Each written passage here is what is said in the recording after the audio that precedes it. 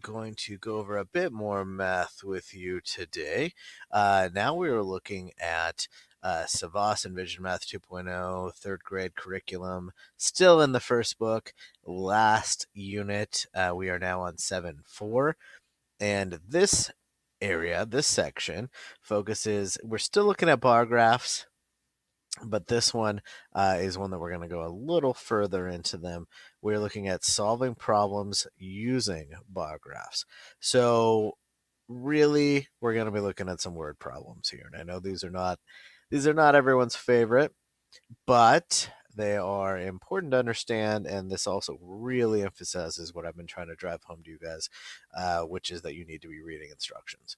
So you need to be reading instructions and reading these problems very, very carefully. Okay. So I want you to always look at the entire page, look at everything you see here.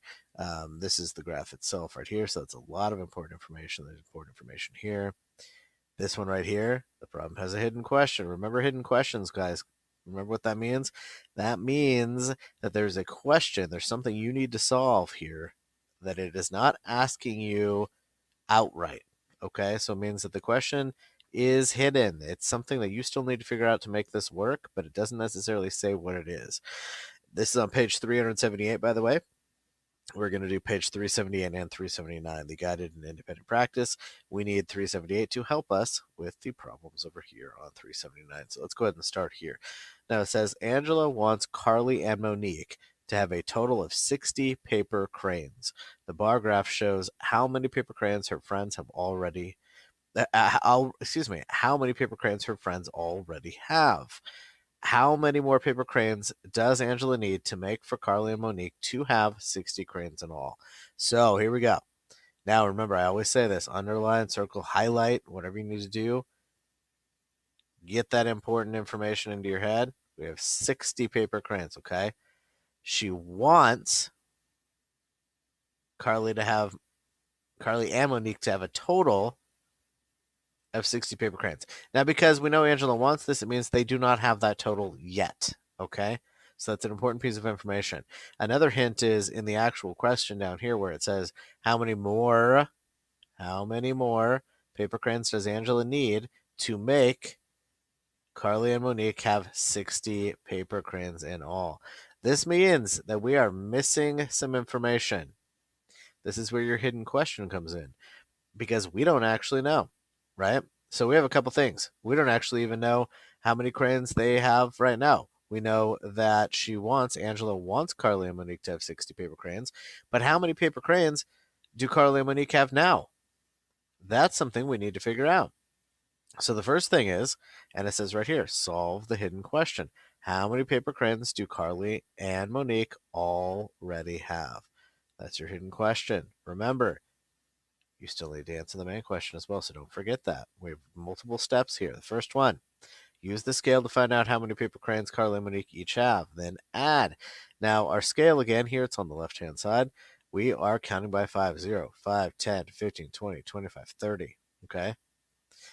And we've got Ilana, Elspeth, Carly, and Monique's information here. But all we're really concerned about is how many Carly and Monique have. If you take a look here, you can tell that Carly uh, that Monique has 10 and Carly has 30.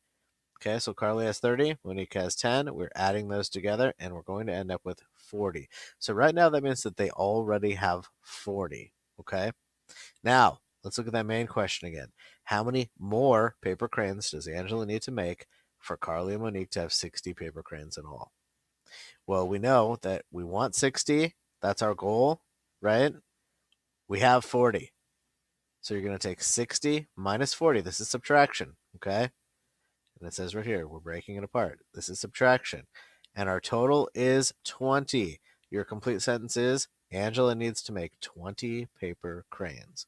You could also say Angela needs to make 20 more paper crayons to get to 60. There are a number of different ways you can answer this, but your answer is 20 paper crayons. And we did that with the information here on the graph. Now, with this bar graph, did we use everything that we saw in here? No, we didn't. We didn't use all the data, but that's okay. Sometimes you won't. Sometimes you're looking for very specific information, and that's what we had here. Now let's take a look over here. Look at the graph on page 378. That's over here. Explain. Remember, explain means you're going to be writing. And once again, if you're writing and you're going to write a complete sentence here, I want to see you use caps. Caps again is capitalization, accuracy, punctuation, and spelling. That's our acronym.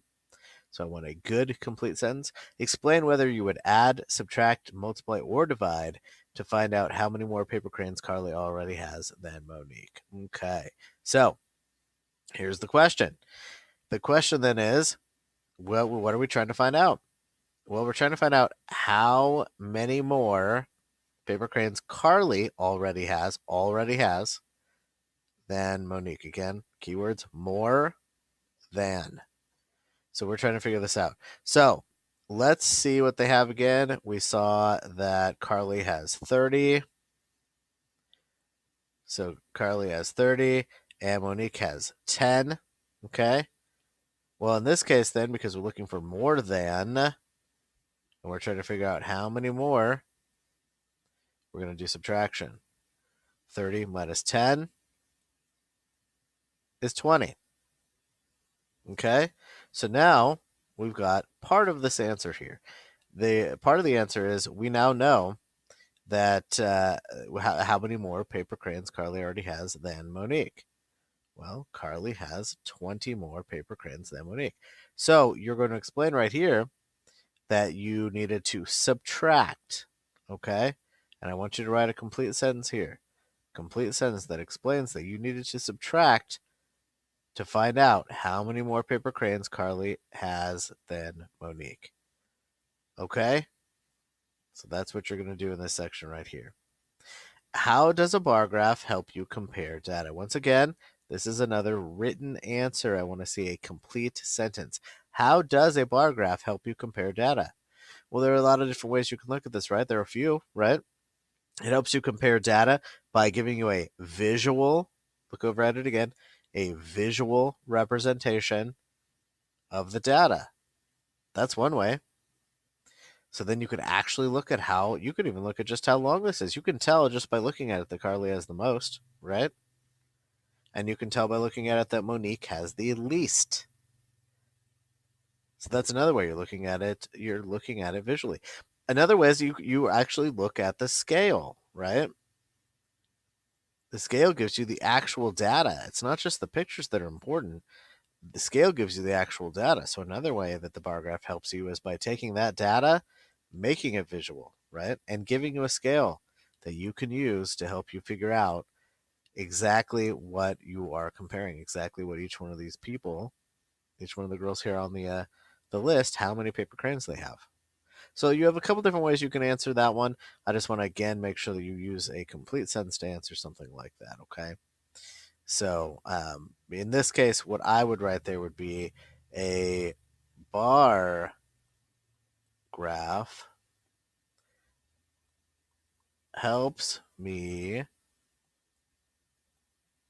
compare. That's a now. Again, apologize for the handwriting. Compare data by giving me a visual representation.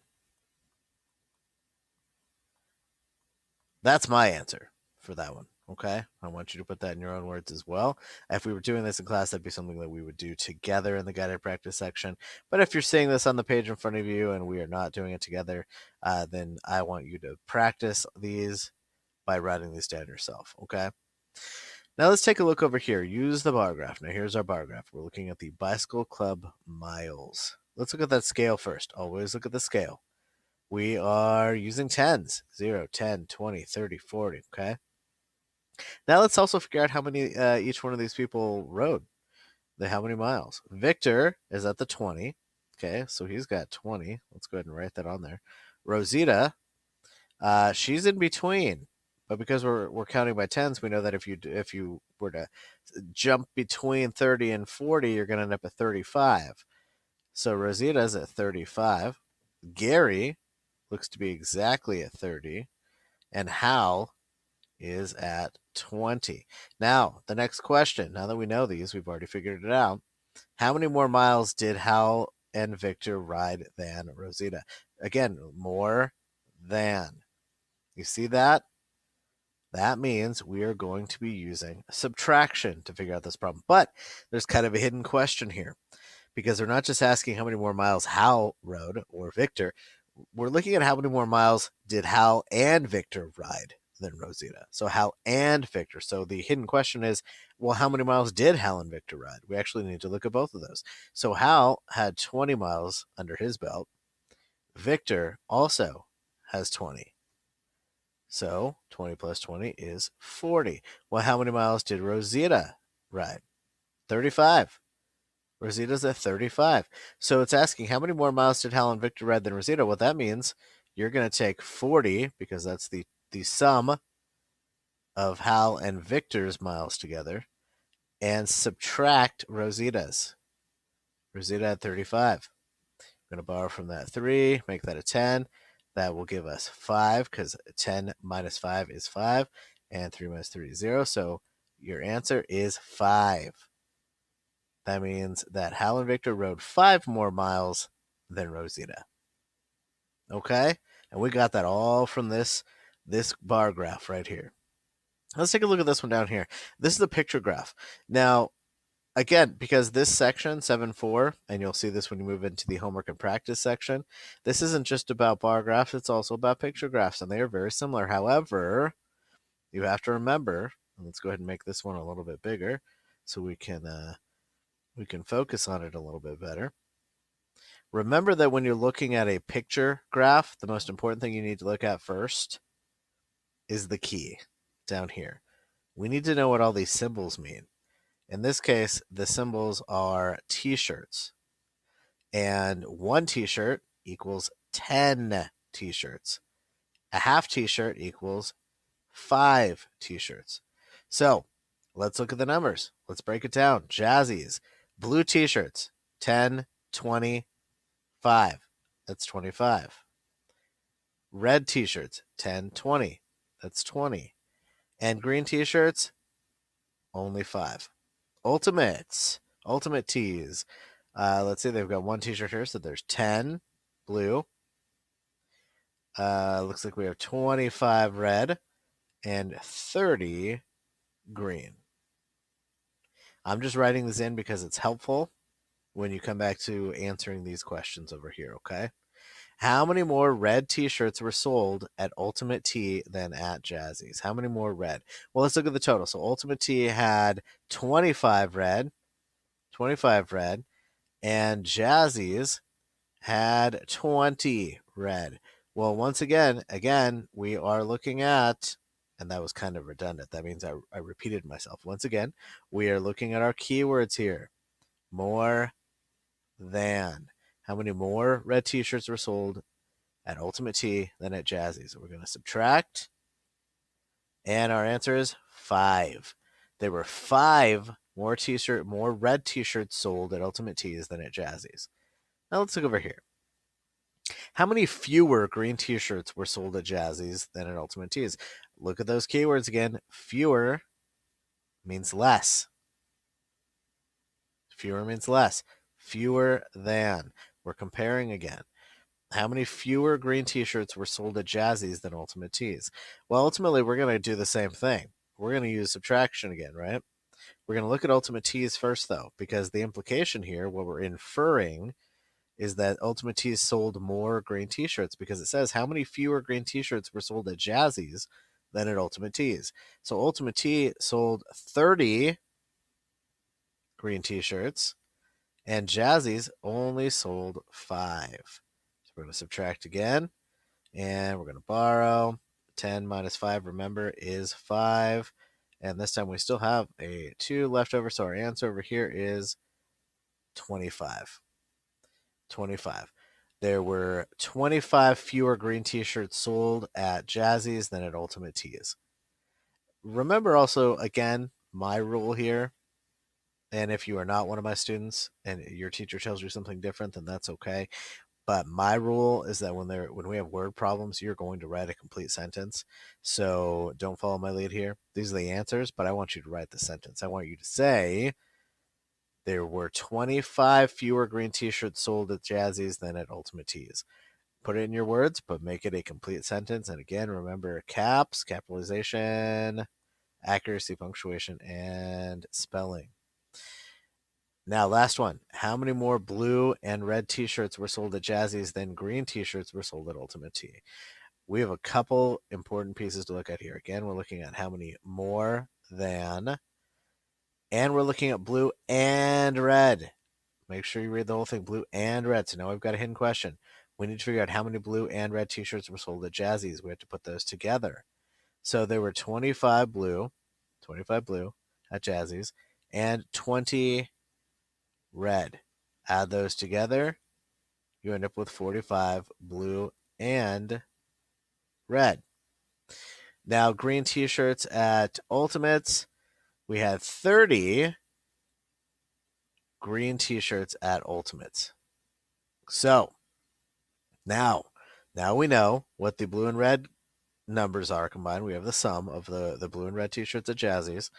And we have the green t-shirts at Ultimate Tees. Now it says how many more blue and red t-shirts were sold at Jazzy's than green t-shirts were sold at Ultimate Tees. So we have more and then. Okay, that means we are going to take the 45.